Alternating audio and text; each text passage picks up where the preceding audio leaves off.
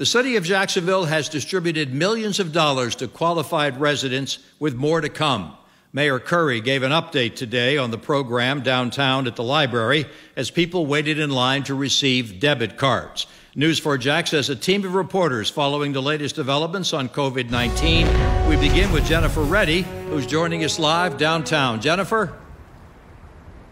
Tom, so far, the city of Jacksonville says that they've distributed more than $15 million to residents to help with things like rent and mortgage. And I spoke with one of those residents today who says this will make a major difference.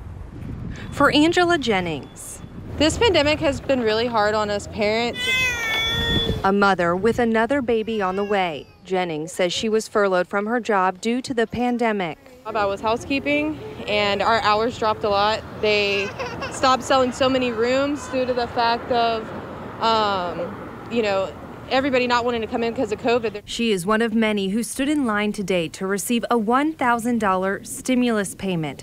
To date, the city of Jacksonville says more than $15 million has been distributed in relief to residents to help them pay for mortgage, rent, and utilities. It felt great. Like, honestly, I just thank God for our governor and everybody else because if it wasn't for them, I wouldn't have been able to pay my bills this month. As the city continues helping residents, the mayor says Jacksonville is ready to move into phase two of reopening, with hopes of expanding the capacity in restaurants and retail stores by next week. And about that next phase of reopening, the mayor says that he has talked to the governor about that. And as you mentioned, we are expecting to learn more about that in the coming days. Jennifer Reddy, Channel 4, the local station.